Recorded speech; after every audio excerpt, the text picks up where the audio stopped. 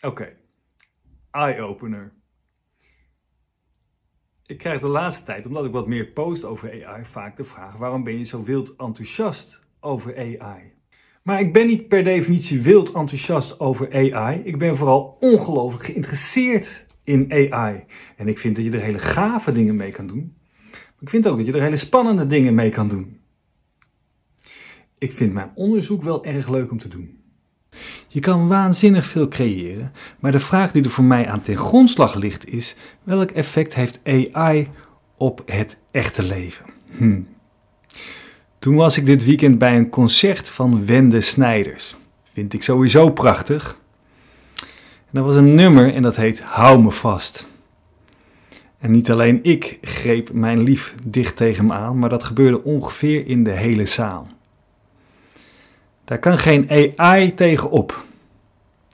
En dat illustreert wat mij betreft eens te meer dat naast AI er natuurlijk menselijke kwaliteiten zijn die geen computer ooit kan evenaren. En dat ik vanuit het diepst van mijn hart wil, wens en geloof dat we die vaardigheden ook moeten blijven koesteren, ontwikkelen, aandacht geven en toepassen. AI echt schitterend, er kunnen gave dingen mee. AI ook spannend, want er kunnen ook hele enge dingen mee. Maar zo mogelijk nog belangrijker, het toont nog meer aan hoe belangrijk de vaardigheden in het echt zijn. Daar gaat AI, in ieder geval mijn onderzoek binnen AI, ook over.